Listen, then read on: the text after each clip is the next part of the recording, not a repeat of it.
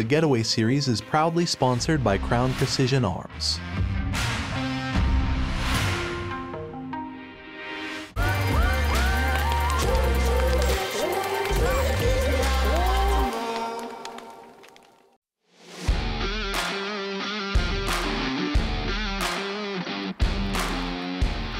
We had a great day today, and what made it very special for me today was was the fact that that we hunted with Richard, and you were guided by AJ, my son, on his very first ever professional hunt. And I had a tear in my eye at some point. It was it was really special for me. I, AJ is is a really good hunter. He's hunted most of his life, and he did his guiding course in school and everything. And, and now he's he's hunting, and he guided a client with me, and just um, made me quite emotional. It's an honor for me to have you as a friend to hunt with him. What um, what happened this morning? Tell us about your hunt. The whole trip was kind of like what we do back in the States, uh, but today our plan was really specifically to um, find a, a low spot because we knew the weather was changing and uh, a spot where we knew the uh, animals would be bedded down. And we were going to uh, uh, just kind of walk through that area and see if we could find something bedded in certain certain um, low-lying tree areas and stuff like that. And, and as we were getting on our way to where we were going, uh, we, we uh, spotted some red hartebeest grazing. It was the first uh, sign we'd seen of animals uh, this morning, and, and it was a, a very cold morning. But uh, as the weather was changing, we did have some red hartebeest grazing. So uh, we developed the plan and we parked that truck, and um, I think we are about three or 400 yards out from them. And, and I just kind of got a little goosebumps when you said, AJ, I think you, you should guide this one, because mm-hmm. you had told me it was his first time guiding as we were uh, approaching and, and uh, Larab, Larab and uh, AJ were uh, out in front, um, the, the cow and the calf were there and, and, and uh, we had to get around them and then, you know, we had to wait for him to get in a position, but uh, he, he, was just behind this bush just a little bit too much for a bit. And then we patiently had him clear the bush and AJ felt like it was a good time to take a shot and I put the scope on him and yeah, I think, think we, we dropped him right where he was standing.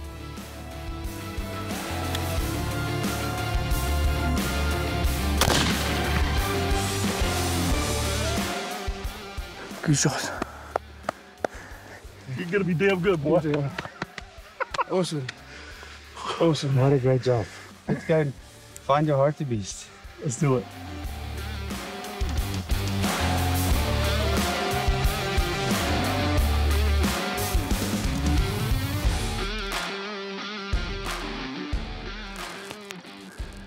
He's done.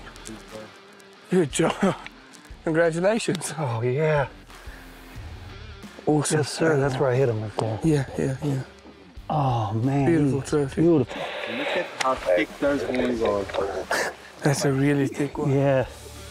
Your shooting this week has just been Phenomenal. aston astonishing. It's like... Yeah. As good as your guiding.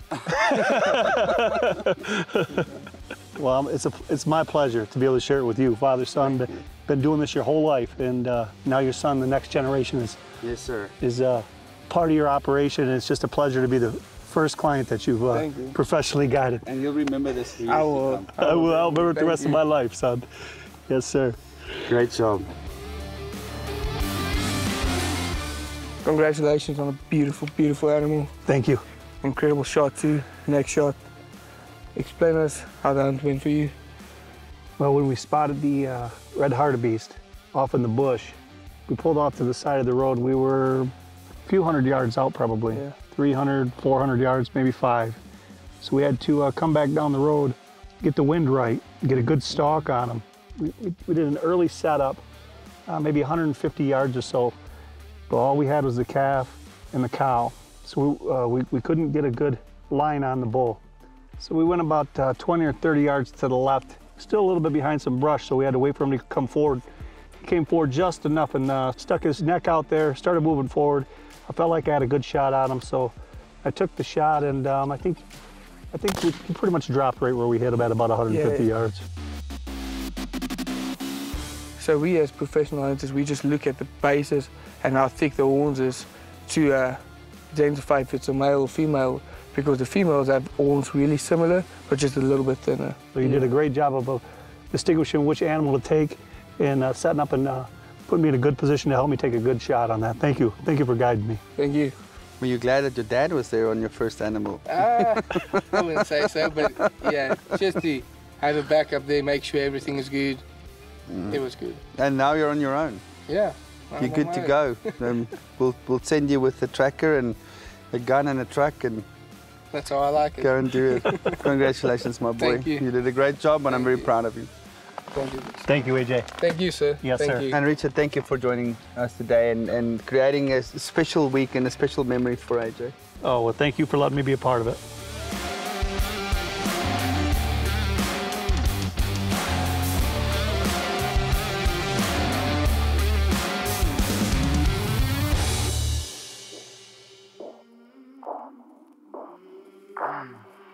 I came from the